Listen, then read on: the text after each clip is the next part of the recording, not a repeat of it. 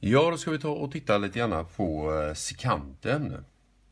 Och eh, då kan man fråga sig, om vi, om vi har en sån här, sån här koordinatsystem och vi har en kurva, så, så eh, uttrycker ju kurvan för det mesta någonting.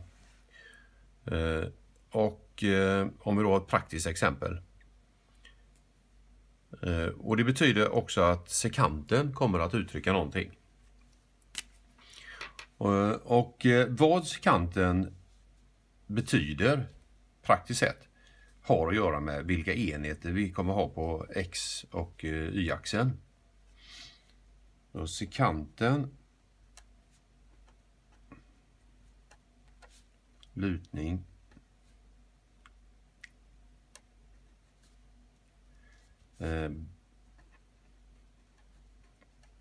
betyder olika beroende på enheterna.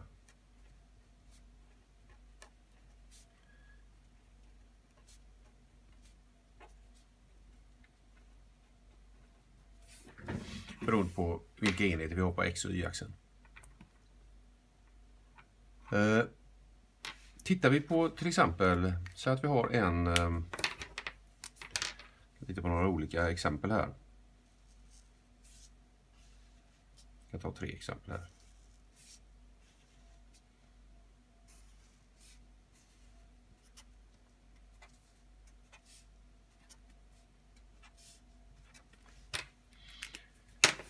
Eh, och eh, här.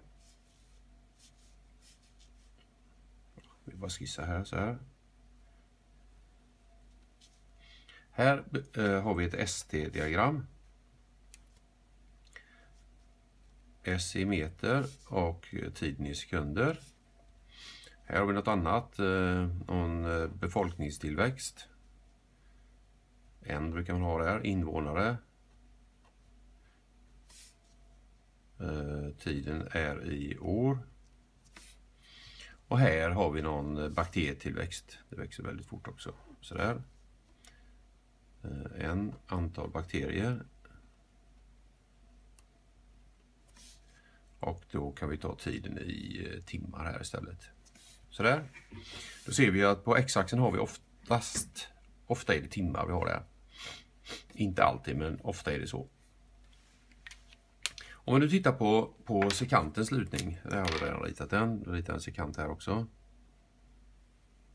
Och här har vi en sekant sådär. sådär.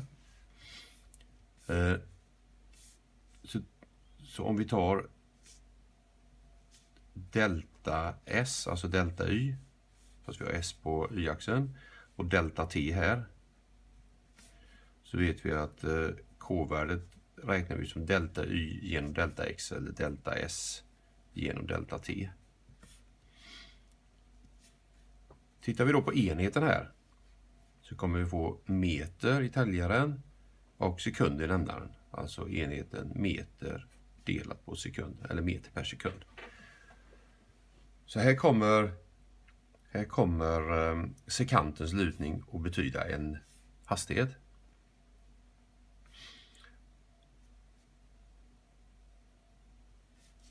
Delta n kommer vi ha där. Där har vi den punkten. Delta t. K-värdet kommer man räkna ut som delta n genom delta t. Delta n det är ju som delta y det och delta t det är ut som delta x. Enheten här kommer att vara invånare delat på år. Eller invånare per år. Alltså en förändring i antalet invånare per år. Och här kommer vi kommer k-värdet att räknas ut som delta n där också. Och delta t. Men det var inte en invånare utan det var en var bakterier. Per timma. Alltså meter per sekund, invånare per år eller bakterier per timma. Vi ser att det är en, en typ av hastighet. Och man brukar kalla då eh, sekantens lutning. Det brukar man kalla för den genomsnittliga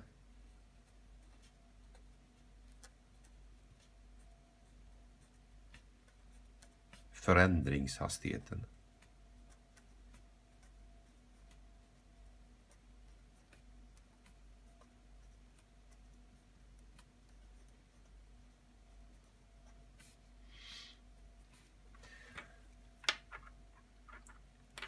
Alltså, det är ju hur hastigheten har förändrats från en tidpunkt till en annan.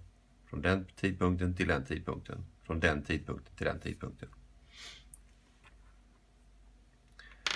Eh, så den genomsnittliga förändringshastigheten har eh, sekanten, är sekantens betydelse. Eh, och då tittar vi på hur man brukar räkna ut k-värdet. Och då brukar man räkna ut som delta y genom delta x eller y2 minus y1 genom x2 minus x1. Eller f av x2, det är ju det som är y2 det, minus f av x1 som är y1. Man kan skriva det på lite olika sätt. Denna kvoten för detta är ju en kvot. Det är ju skillnaden i y delat på skillnaden i x. Och när man har division kallas det kvot. Det här är en kvot, det här är också en kvot. Det är ju samma kvot. Och det här är också en kvot. Den här kvoten har ett specifikt namn. Det kallas för ändringskvot.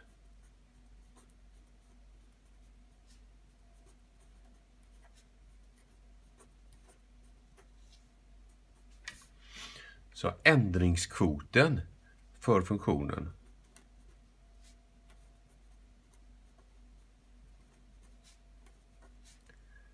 f av x mellan x1 och x2.